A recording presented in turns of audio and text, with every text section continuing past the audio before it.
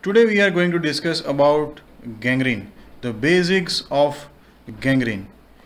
When the cell is not getting enough amount of uh, oxygen, it is known as the hypoxia and first of all cell goes into the stage of the reversible injury. But it continues if oxygen is not uh, delivered to the cell then these cells goes into the stage of the irreversible injury and if it goes into the stage of the irreversible injury still further progression pathogenesis occurs and it goes into the stage of the necrosis. Yes the necrosis cellular death followed by the inflammation necrosis. And further when the necrosis followed by putrefaction necrosis followed by putrefaction that is known as the gangrene. Into the pathology a particular some amount of the pathology you can say one stage is changed the name is changed. Just like initially reversible injury then the irreversible necrosis and further when the cellular damage occurs. So you can easily say that uh, necrosis followed by putrefaction two, two things together known as the gangrene. These gangrenes are basically classified into the main two types. What are those two types? One which is known as the dry gangrene and another is known as the wet gangrene. The name itself suggests dry. That means the organ in this case of a gangrene is shrunken. That organ becomes dark. That organ becomes black colored. Why these occurred so? What is the pathogenesis behind the dry gangrene? In this tissue you can easily say that this part of the tissue is blacked. Here the great toe is blackened. Why it appears a black in color?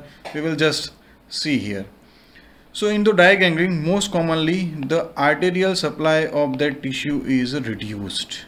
Yes, the, that means the blood supply of particular part is reduced. It most commonly occurs in case of the atherosclerosis.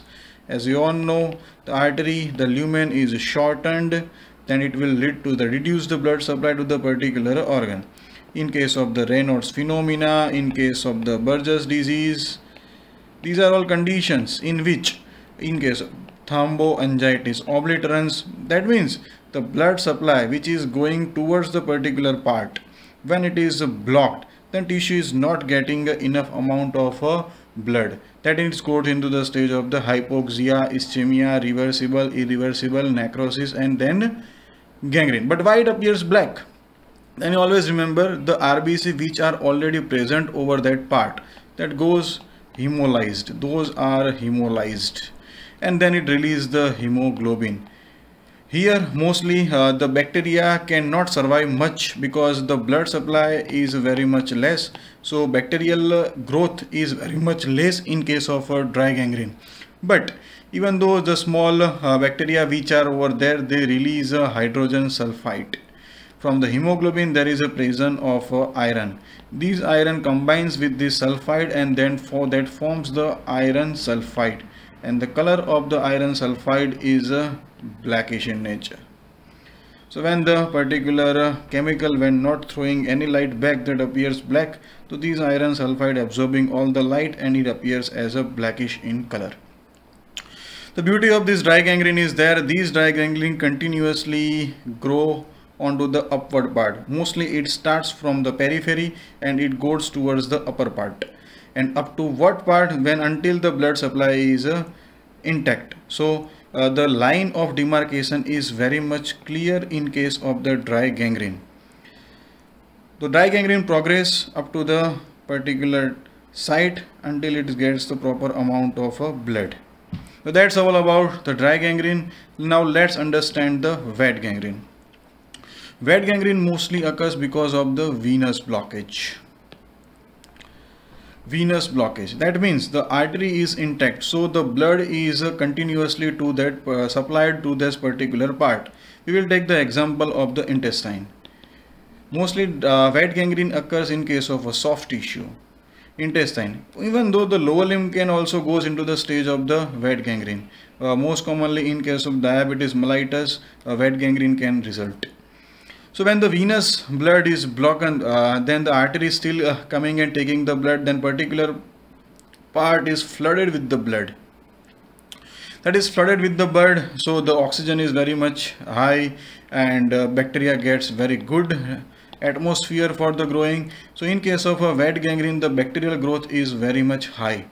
And the bacteria then grow multiply and uh, then it goes into the blood and can result into the septicemia so most common complication of the wet gangrene is septicemia and septicemia is more leads to the death. So wet gangrene more dangerous. You can see here it is more common in bowel. Mostly venous obstruction can result. List of an arterial uh, obstruction and here the organ was dry. In case of the uh, dry gangrene you can say the organ was uh, very much shrunken black and here the organ is a soft swollen and dark. It is rotten dark in color here putrefaction is limited because the bacterial growth was very much less but in case of the wet gangrene there is a high amount of bacterial growth is there here line of demarcation was clearly visible but here the proper exact line of demarcation is not there because this is flooded with the fluid. Bacteria here uh, fail to survive here so much amount of bacteria is there. Right and here the septicemia chances are little but here the septicemia chances are very much high. So wet gangrene can be more dangerous.